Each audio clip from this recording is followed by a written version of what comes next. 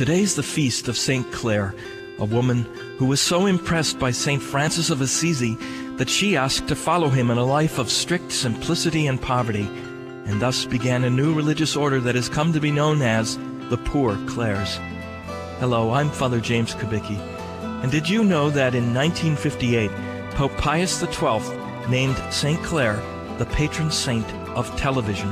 Now, Clare lived 700 years before the invention of television. Why on earth is she its patron?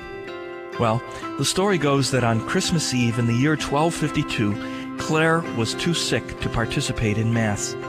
But she was given a great grace. From a wall in her room, she saw and heard the Mass that was being celebrated in the convent chapel on the 50th anniversary of Pope Pius's declaration of St. Clare as the patron saint of television, Cardinal Tarcisio Bertone said, St. Clare is not only the patron of television, but she can also teach us the correct use of this media.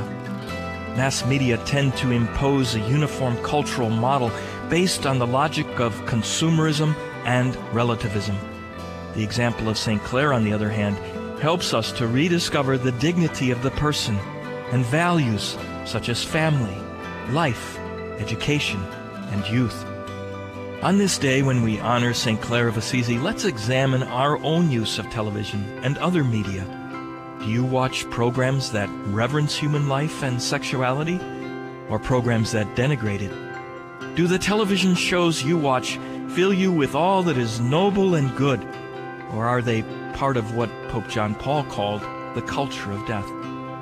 St. Paul reminds us to fill our minds with good things, and that should determine our use of television.